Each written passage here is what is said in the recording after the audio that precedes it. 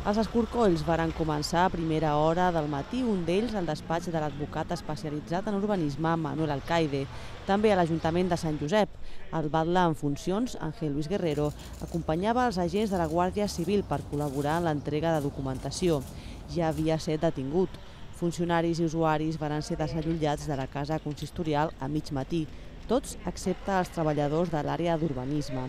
Es quedaven pels voltants del consistori, entre ells també l'alcalde electe Vicent Roig.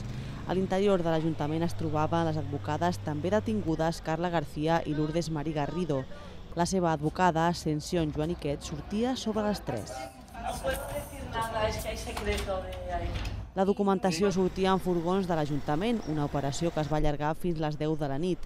L'advocat de Guerrero, Josep Maria Costa, l'acompanyà durant la major part de la jornada. Jo vull veure si, si s'aixeca secret de sumari, cosa que espero, perquè no té sentit que es mantengui. Jo l'he vist home, preocupat i amb ganes de, de col·laborar amb això i, i hem estat valorant, jo li he demanat tranquil·litat i que demà mirarem de, de veure de que, o passar a presència judicial o, o a veure quines alternatives tenim. Pel moment, Guerrero era conduït al quarter de la Guàrdia Civil de Sant Antoni, on ha passat la nit.